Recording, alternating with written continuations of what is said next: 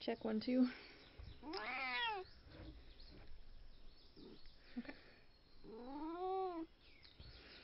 Hey everybody, this is Mike Costello, And Amy Dawson. and we're here at Lost Creek Farm in Harrison County. And today we're going to teach you how to make a classic West Virginia snack, the pepperoni roll. Invented long ago by wives of Italian miners in Marion County, the pepperoni roll is good for any occasion. It's good for the morning with coffee.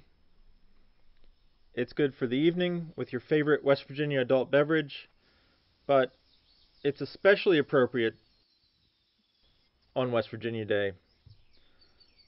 So let's go inside to the kitchen and learn how to make the classic West Virginia pepperoni roll. Sounds good. Okay, we're here. Welcome inside our kitchen here at Lost Creek Farm. And today we're going to walk through uh, one of our favorite recipes for making pepperoni rolls. I'd say there's no um, real right way to make pepperoni rolls. There's a bunch of different riffs on it. I know the first time I ever made a pepperoni roll, I was in about fifth grade. We made them in school with um, that store bought biscuit dough in a can. And uh, Nice. yeah, I, it's not my favorite, but you know, do what you do. But we, we make a few different versions. This is one that we really like. It's uh, pretty standard, pretty classic for us. It uses our favorite stick pepperoni. Yeah. So that's a thing we'll get into. Sticks versus slices. We're in the stick camp, but again, no right or wrong way to go about doing your pepperoni rolls. So here are all the ingredients that we're going to need to make the dough for the pepperoni rolls. 4 cups of all-purpose flour, 2 cups of whole milk, 2 tablespoons of sugar, uh, 1.5 teaspoons of kosher salt, and then 2.5 teaspoons of active dry yeast. We're going to start by warming up the milk on the stovetop.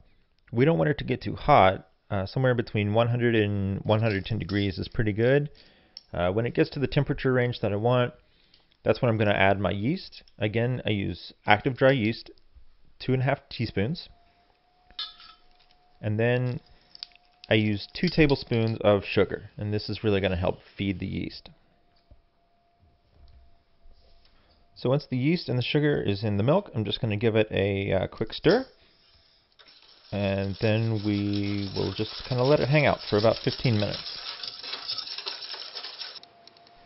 After only about 5 minutes, you can just check back in on it. You see that our mix here is already really active. It's uh, very much alive. You can see that it's, uh, it's working. It's pretty bubbly, so this is a pretty good sign that it'll be where we need it to be.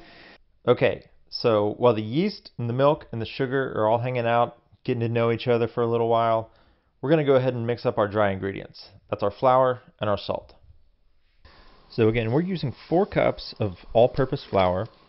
And to get the precise measurement, what I want you to do is to use a, uh, a dry ingredient measuring cup and make sure to flatten it off when you dip down into the flour. You don't want a heaping mound of flour coming over your uh, measuring cup because that's really going to mess up your, your measurements and your ratios, and we want to keep those consistent. Okay, now I'm going to just put my salt in with the flour in the mixing bowl. Again, that's about one and a half teaspoons of kosher salt. So it's been 15 minutes since we put our uh, yeast mixture together with the milk and the sugar. Uh, it's very frothy, very live, just what we want. I can tell that's going to be a good rise on our dough. Uh, we're going to put it all together into our stand mixer. Uh, now the attachment you want to use for the stand mixer is this dough hook.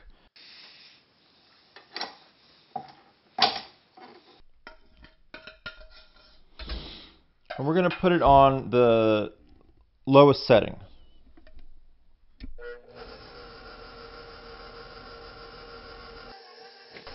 Now it's going to take about five or six minutes for this to really get to where you want it to be. Um, so you can just sort of keep an eye on it. Sometimes you're going to need to take a spatula and scrape the side of the bowl if it looks like some of the flour, some of the dough is really sticking and the hook is not taking it off the side. So just kind of keep an eye on it. Okay, so our dough has finished mixing here in the mixer. And really, if you don't have a stand mixer, it's totally fine. We make so much bread that we just make by hand with a mixing with a wooden spoon or something. Um, so I want to show you a little bit about what the dough should look like when it's finished mixing. Um, so we're looking for something that's pretty soft. It's not really that sticky. Um, what do you think, Baker? It feels good. Mm-hmm. Amy's our main bread baker here at Lost Creek Farm, so she says it's good, then I feel pretty good about it. For the dough to rise, I'm going to put it back into a clean mixing bowl that I've oiled. So I put a little bit of olive oil in and just sort of wipe it with a paper towel. This will allow it to rise without it sticking to the side of the bowl. So as we set the dough to rise in this mixing bowl, I want to make sure to cover it up to keep it from drying out. I could use some kind of plastic wrap, even aluminum foil, but in this case, I don't really want to throw anything away if I don't have to. So I'm going to use this pot lid that fits perfectly. You can also use a dinner plate, something like that. So we've got our dough rising in the mixing bowl. It's going to take probably about an hour and a half or so, uh, maybe two hours to get it to uh, double in size. So we're going to do a few things to prep the rest of our pepperoni rolls while we're waiting. And now it's time to cut the pepperoni. So as we mentioned before, we have a strong preference for stick pepperoni over the slices. If you wanted to use slices, that's totally fine, but uh, we really like the sticks. One thing though, to keep in mind, if you're using the sticks, a lot of the stick pepperoni has this collagen casing on the outside that's uh, very, very tough and um, you should go ahead and remove that before you uh, prep the pepperoni to put in the dough. And we use sticks that are a little bit on the thicker side, so what we're just going to do, once we've cut the pieces to length, we're just going to cut that stick in half long ways. And then from each half we can get about four, maybe five smaller sticks.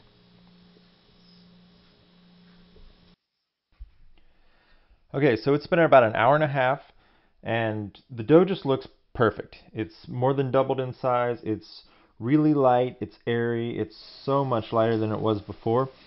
So to really achieve that kind of uh, chewy, glutinous, bready texture that I want, we're going to press it down and we're going to let it rise again for uh, about another hour.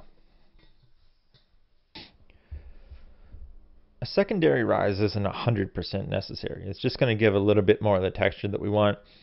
Um, it's not necessary, I say, because you're going to give the dough another chance to rise again.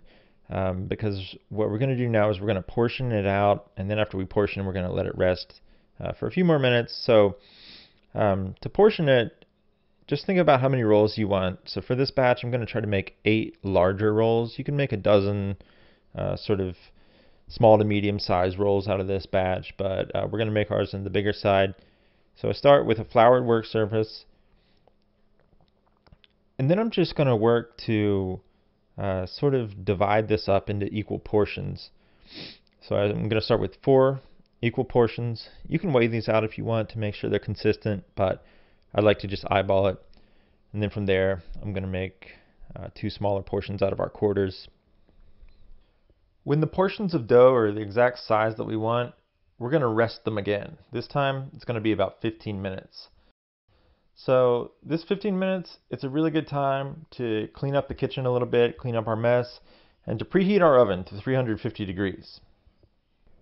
When we're ready to stuff the pepperoni rolls, we're just going to kind of take the dough and flatten them out. You can kind of think of this step as uh, making like a, a, miniature pizza dough, for instance. You just want to kind of uh, turn it in your hand. It's going to be uh, circular, but we want to be able to flatten it out so that um, there's not too much dough between each of the sticks of pepperoni. It can be pretty thin, um, but I also wouldn't make it too too thin. I mean, probably about a quarter of an inch or so is a good place to good place to start. So now it's time to do the stuffing. We're going to put the pepperoni into the dough and assemble our pepperoni rolls. So we're going to shoot for about three, maybe four of these larger sticks. You could do a lot more if you cut the sticks smaller, uh, but for us, uh, 3 would be a good number since they're pretty thick. So I just put it in one side, roll it over, put another stick in, roll that over, and then looks like we'll be able to do three with these. So I roll that all up and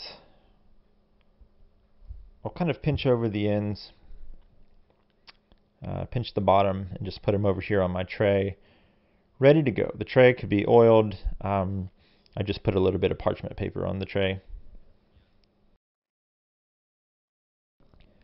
Now, if I'm making pepperoni rolls with the slices, if, you, if that's the way that you're choosing to do it at home, um, usually just put maybe like four or five slices uh, in a row and then fold it over and then do another four or five slices and then wrap the pepperoni roll up like that. Now I like to fold over the edges and just make a concealed pepperoni roll. I know some people who do not do that and they just sort of have these open-ended pepperoni rolls. Um, for me, it's uh, a couple things. I mean, if you go anywhere in West Virginia, and you buy pepperoni rolls. Odds are it's going to be totally concealed. Uh, the ends are going to be pinched over. But also, there's a very practical reason, and that is that um, you want the bread to be able to soak up all of the pepperoni grease. So if the ends are open, sometimes that grease just sort of like leaks out uh, all over your baking sheet. But you want to be able to keep that um, because the best part of the pepperoni roll uh, is like the bread on the bottom and on the sides that has soaked up all of that nice grease from the pepperoni itself. So our rolls are stuffed with pepperoni, they've rested for a few minutes, and they're almost ready to go into the oven. But there's just one more step, and that's to lightly brush the tops with a little bit of melted salted butter. This is going to add a little bit of flavor and it's also just going to help with the browning process while they're baking. The rolls are in the oven, so now comes the hardest part of this whole recipe, the waiting. We'll set a timer for 25 minutes, and we'll see you again soon.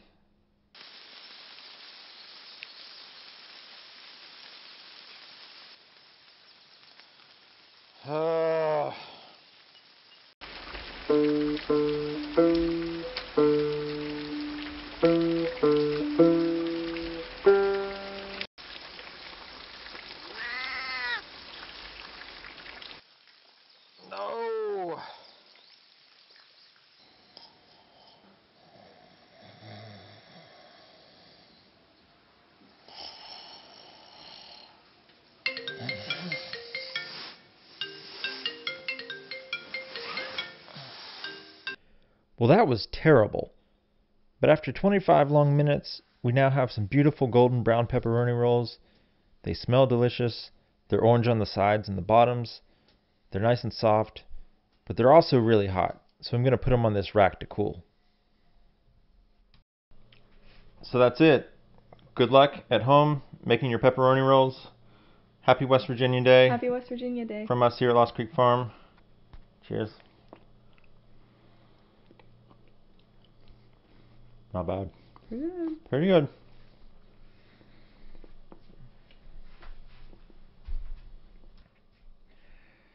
Okay, so our dough is rising. It's going to take what? I'm sorry. Why are you gesturing with the pepperoni? I'm not gesturing with the pepperoni. You can't even see it. Okay. I'm sorry. And go. So we've got our dough rising.